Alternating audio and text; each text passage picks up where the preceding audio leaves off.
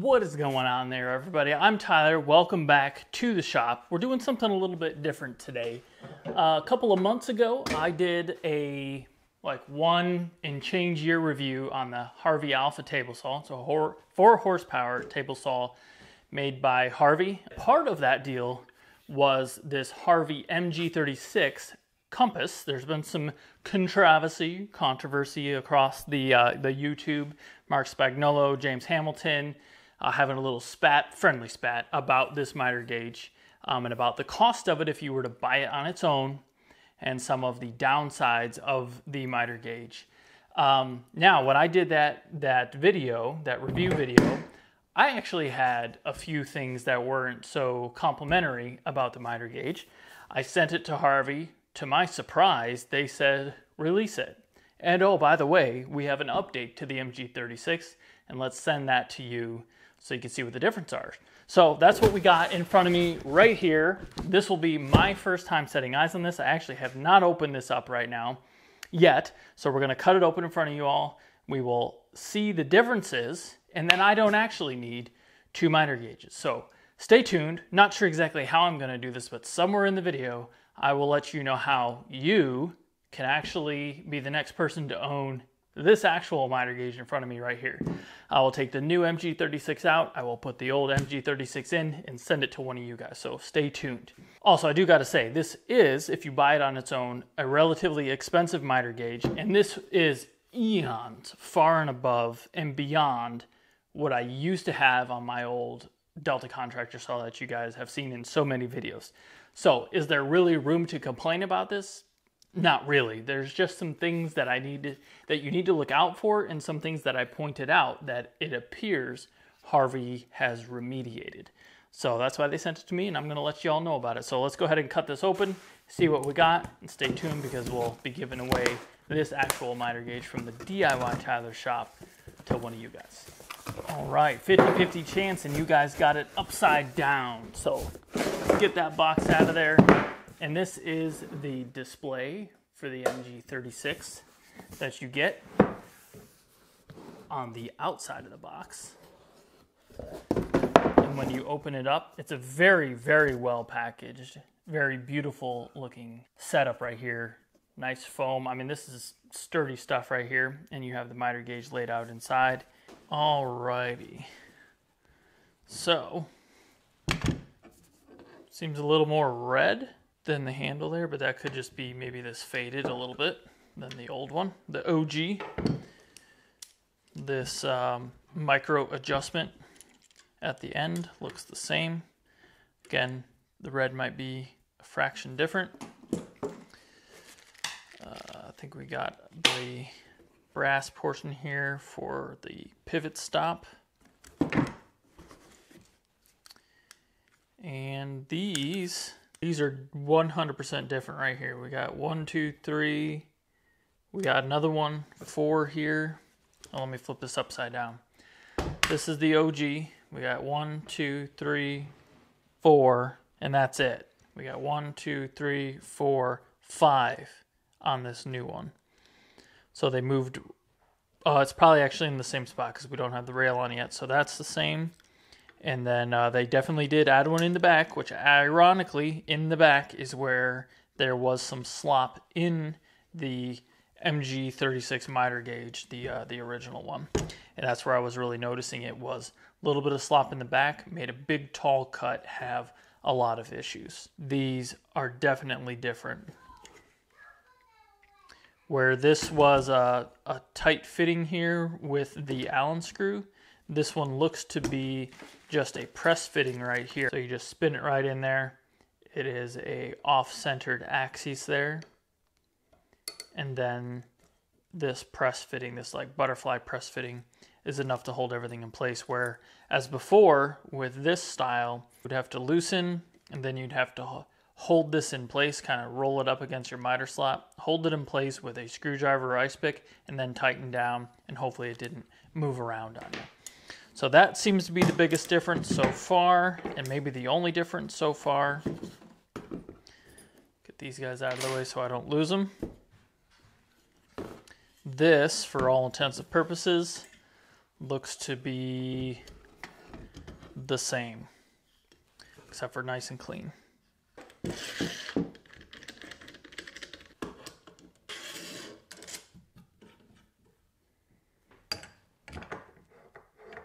Well, that was pretty easy. I think we're in good shape right there. Like I said, besides a little bit cleaner, doesn't look any different.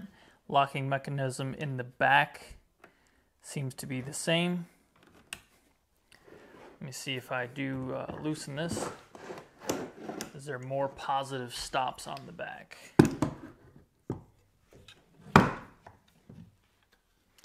It doesn't appear to be. Nice fresh spring seems to pop in there a little bit better. As you can see, it has a mechanism in here which you can lock back. Um, that's what that's what this locking mechanism and this pivot right here on the front is. You can open that and then this is kind of free floating in there and doesn't lock into any of these positive stops which are at the 0, 22 and a half, 45 and 60 degrees on both sides. With the addition of this, they made the whole rail of the miter gauge a little bit longer. Now, one thing I do need to mention, the Harvey table saw accepts um, like a T-slot washer, and you can see this on the bottom of the miter gauge. So this actually slides into a groove on the Harvey table saw. Now, you can remove that, still use the miter gauge um, as would be in the typical T-track of a table saw. So if you do happen to uh, win the giveaway for this, which stay tuned for that, you can just remove this and you would be ready to uh, use it on any old table saw with a T-slot gauge. Right, first time going into the Harvey. It's definitely tighter, but I think I got to make some adjustments here. And at this point, I'm going to take the Allen and just kind of move this clockwise, move these clockwise until I can feel it grab a little bit of resistance and push the miter gauge over to the left side. Now we're gonna have to leave this one alone as we put this back on because now I really wanna see and feel what the difference is across the whole bar. This is where I noticed a problem with the old one and I can put the old one on and we can see the difference. Um, so as I rock here, A, I can tell it's not pivoting at all in the back. It's actually pivoting up in the front over here. So we need to tighten these up just a fraction.